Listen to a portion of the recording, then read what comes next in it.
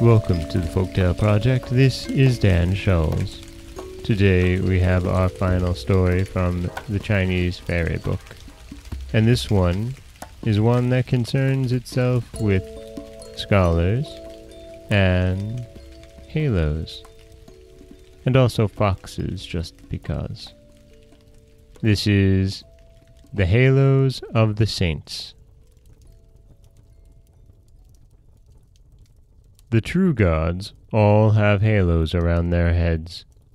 When the lesser gods and demons see these halos, they hide and dare not move. The master of the heavens on the Dragon Tiger Mountain meets the gods at all times.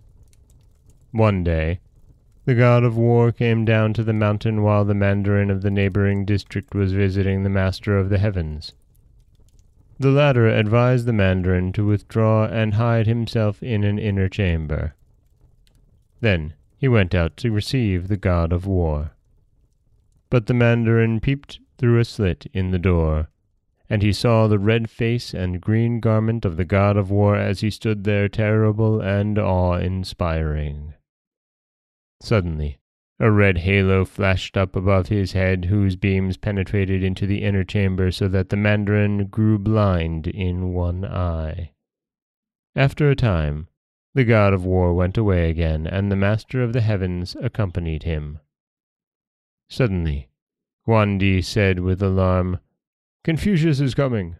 The halo he wears illuminates the whole world. I cannot endure its radiance even a thousand miles away, so I must hurry and get out of the way and with that he stepped into a cloud and disappeared. The Master of the Heavens then told the Mandarin what had happened and added, Fortunately, you did not see the God of War face to face. Whoever does not possess the greatest virtue and the greatest wisdom would be melted by the red glow of his halo. So saying, he gave him a pill of elixir of life to eat, and his blind eye gradually regained its sight. It is also said that scholars wear a red halo around their heads which devils, foxes, and ghosts fear when they see it. There was once a scholar who had a fox for a friend. The fox came to see him at night and went walking with him in the villages. They could enter the houses and see all that was going on, without people getting any the wiser.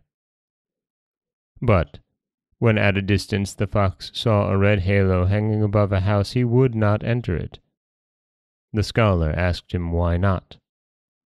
Those are celebrated scholars, answered the fox.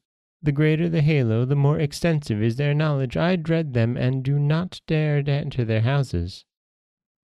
Then the man said, But I am a scholar too.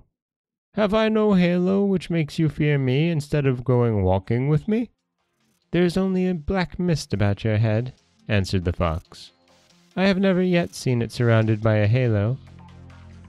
The scholar was mortified and began to scold him, but the fox disappeared with a hoarse laugh.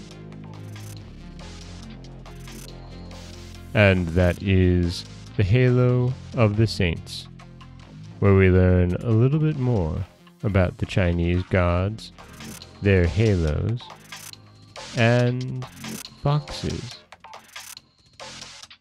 This is Dan Scholes for the Folktale Project. Don't forget that you can subscribe to the podcast on Apple Podcasts, Stitcher, Google Play, Overcast, anywhere you like to get your podcasts. You can follow us on Twitter at Folktale Project. You can find us on Auto Radio, TuneIn Radio, iHeartRadio, Spotify, anywhere you like to listen. And you can always head over to folktaleproject.com where you'll find a new story waiting for you every Monday, Wednesday, and Friday. Don't forget that if you'd like to help support the podcast, you can always head over to patreon.com slash folktaleproject, where for as little as a dollar a month, you can get early access to every story told. Next week, we'll be back with three new tales.